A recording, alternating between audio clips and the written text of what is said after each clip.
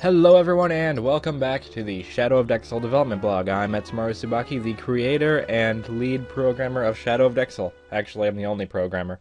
Anyways, I do have help from you guys helping me create new characters, new locations, and ideas, so I have to thank you as well. Alright, so I've been working...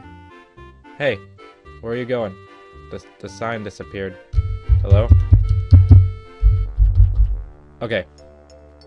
Anyways, today's update is probably one of the biggest updates I've ever done. I've been not showing you guys what I've been doing lately because I was not ready to show you yet. But now I feel that it is time. You're gonna notice everything right away, so let's get started before that thing disappears.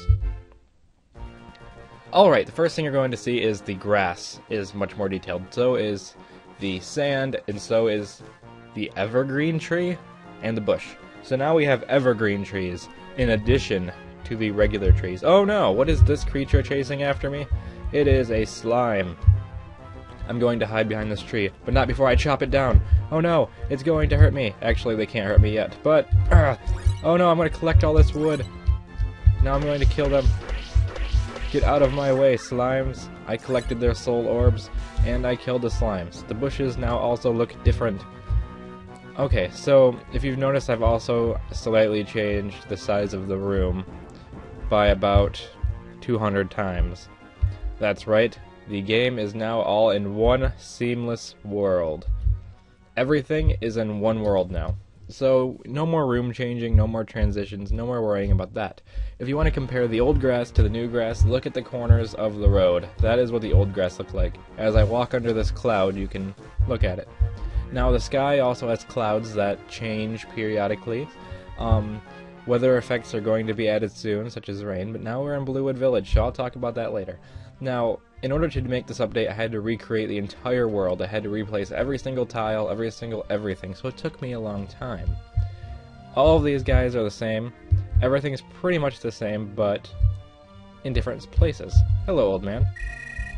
Hey there, Sunny.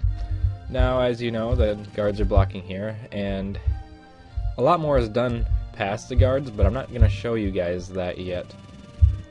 Alright, so now I'm going to leave the town. But, oh yeah, I can't, because it's actually blocked off this time, so let's go all the way around, after I show you some area over here. Oop, I just ran over the water. Oh, uh, you're not supposed to be able to do that. I forgot to put the barrier back up, the invisible wall of doom. Also, the flowers now have an animation. This is all thanks to my ability of finding things and learning how to deactivate objects not on the screen, allowing me to run the entire world in one screen. Never again will you have to, except for when you go in buildings, because I'm not going to make that part of the same thing. Now I'm kind of rambling, but I'm going to show you a couple more things before we go today. Alright, we got a sign too, I forgot about that. Added signs. Over here. Oh, oh no!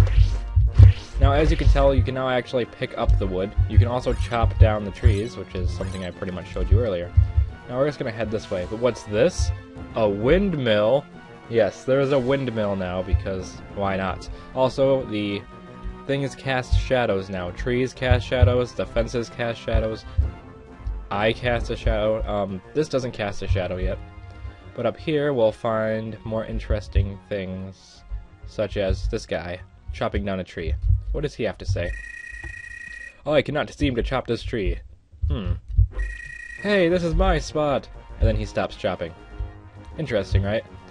Now, did I leave the other thing up here? No, I haven't. But the world is becoming fairly expansive. I'm constantly increasing the size of the world every day by massive amounts. And pretty soon the world will just be huge. So, let me know what you think about all these updates in the comments. I'll be uploading another just random gameplay video for you guys to watch without commentary. Um, thanks for watching. Leave suggestions, leave comments, and all that good stuff. Remember to sure you can the like button. Thank you, Fox. And I'll see you guys in the next development blog.